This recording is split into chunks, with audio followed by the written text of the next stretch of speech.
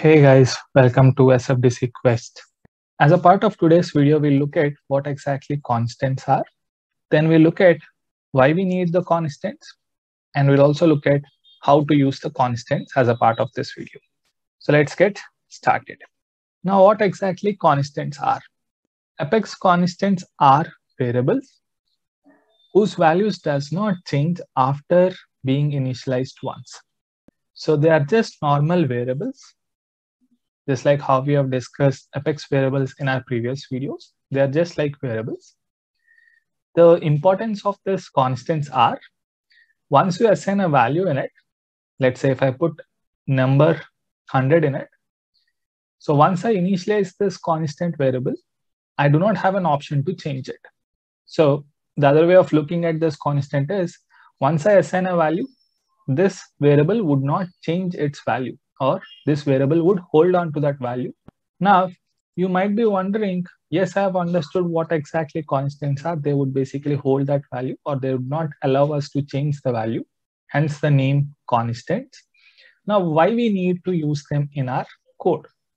It your Apex classes or triggers, you might come across using this constant or you might have seen code where they are using constants. We'll quickly understand why do we need or why do we use this constants in our code? So we are going into the second phase of the discussion, which is why we need constants. For that, I'll quickly jump onto my Salesforce org. So now I'm on my Salesforce org. So this is a previous code that we have used for Apex triggers. Here is the code for the same. If you see this code, I'm just scrolling down to the section that I'm interested in. So that way we can quickly understand the importance of this constant concept. So if you see this piece of code, which is a method in which I'm using some values. There is an electrical, there is a high value that I've used twice. Now you might be looking at this code and if I also highlight the other section that I have here, which also has which also has a high as a value here and electrical as a value here. Now you might be wondering, everything looks good to me. What exactly we can learn from this? Piece that you have highlighted.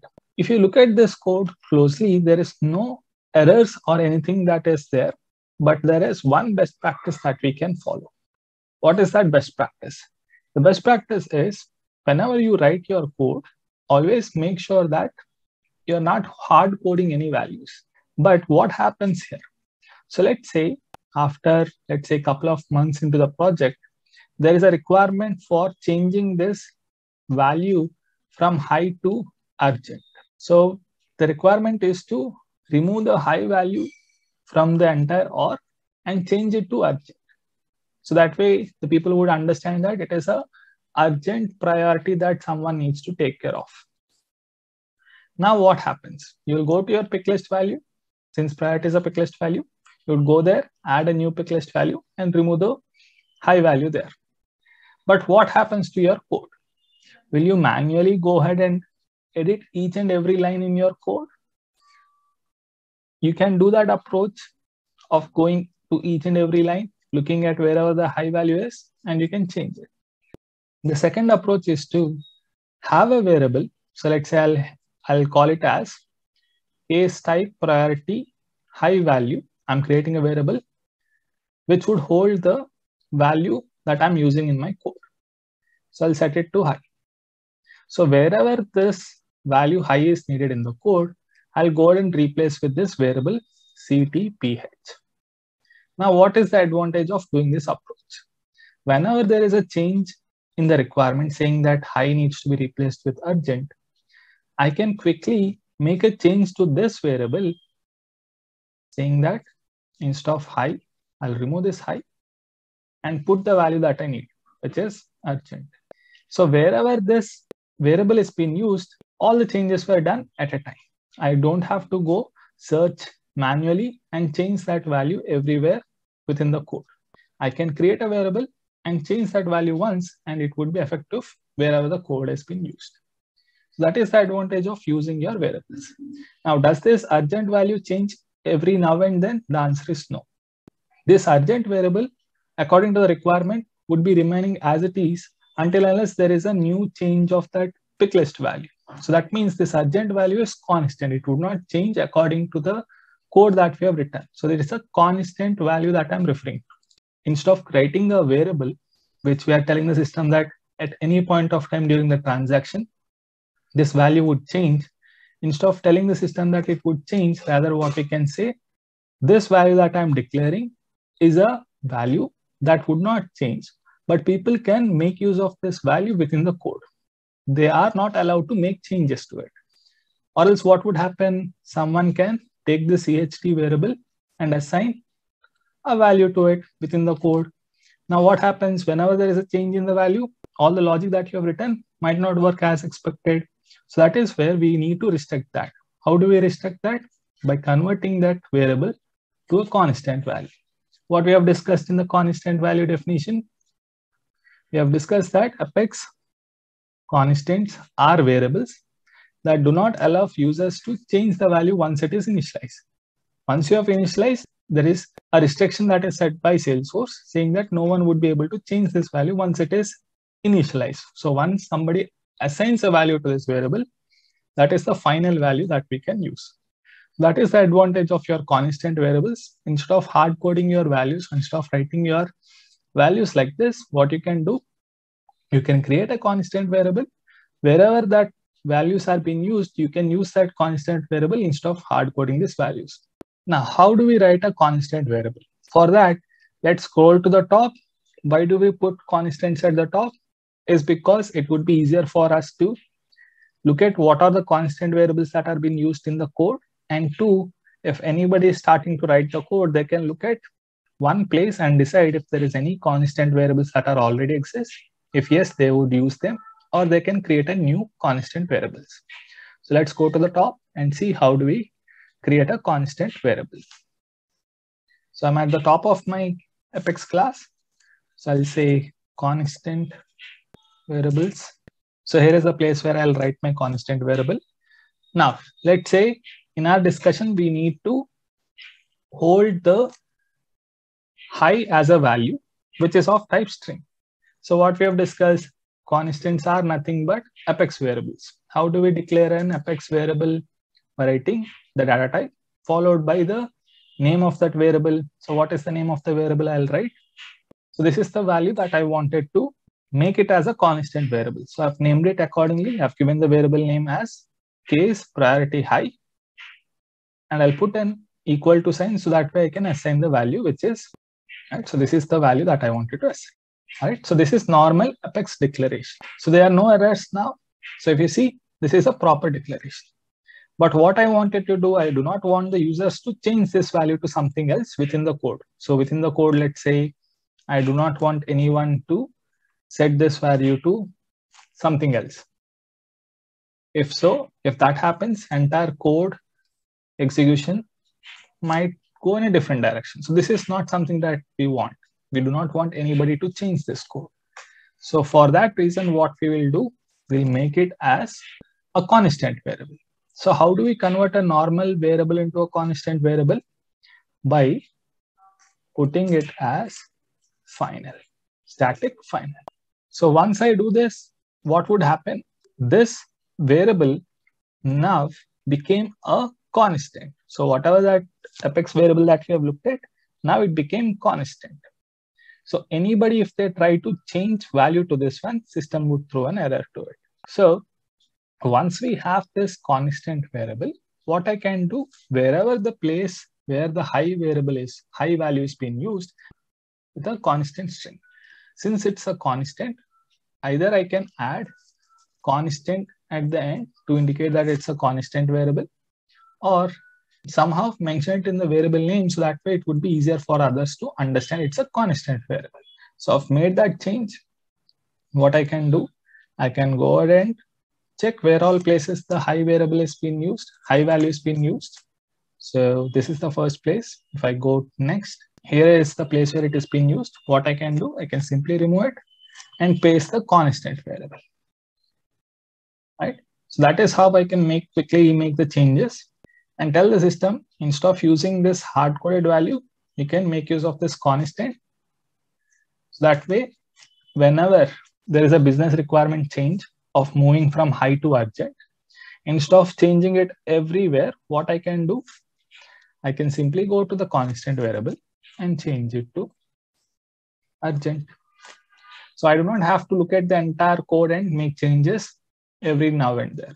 I do not have to go to the entire code and look for where is this high value being used. I can change it at one place and this change would be effective wherever this constant variable is used. That is the advantage of your constant using constant variables in your Apex code. I'll revert it to high. So that way we can go ahead and make, make changes to the other places where it is being used. An extension of what has already been there, you can make the changes accordingly. So if you see here, there is a high value is being used. What I can do, I can ask the system to use this constant variable and append this hyphen to this subject that I'm using. So in case if you do not know what exactly this code is doing and everything, feel free to check out our Apex Triggers, Apex Triggers Udemy course. I'll leave the link in the description. So we are changing the, we are making use of the same code that we have used in that Apex Triggers for this concept. Our changes are done. In case if you want to do it for electrical, you can do the same approach, go to the top, create another, another constant resource. I'm creating the data type as string. In case if you want a number or anything, you can create it as an integer here. Again, it's a constant, so I'll name it as constant at the end. Now, once that is done, you can save it. Wherever this electrical value is being used, you can quickly make those changes. So we can quickly check where is this being used. So wherever there is a text value where electrical is being referred, I can quickly grab the constant value that we have created and make a change accordingly. And here is also another place where it is been. So that is how you can make use of your constant variables within your Apex class. So what is the advantage of this approach? This approach gives us a advantage of whenever there is a change in the value, we do not have to search for the entire code where this electrical is being used and we do not have to make it make that change manually. Instead of using this value, I've used a variable, constant variable. So I can make a change here, whatever the change that I do here, and it would be effective in the rest all code. So you might be wondering, you have told that constant variables are the variables that would not allow us to change the value once they're initiated. That is true when the transaction starts. Once the code executes, within the code, I cannot make a change to it. So how can I prove that there would not be any changes that I can do to a constant variable? Let's quickly take a simple example here and do a test accordingly. I'm taking the same variable in the anonymous window. I'll make a change to it and say, set it to low. And what I'll do, I'll do a debug log to show you the difference. So this is the after change. And similarly, I'll print a debug statement before this one. I'll say before. Right. So we have two debug logs and one constant variable. I'm making change to this constant variable and also printing the debug logs before and after that change. So if I quick, quickly select this piece and click on execute highlighted. So as soon as I click on execute highlighted, it throws me an error saying that a final variable has already been initialized. So it is saying that you cannot make a change to this variable once it is initialized. So once the transaction runs, no one is authorized to make a change to this variable. If you see that line, it basically shows that error occurred on line number 54.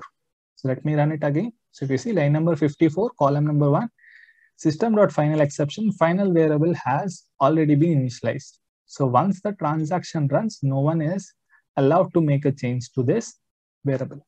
I can go ahead and make changes to this value within the code when it is not running. So once it runs, no one has the authority to change it, right? So keep that point in mind.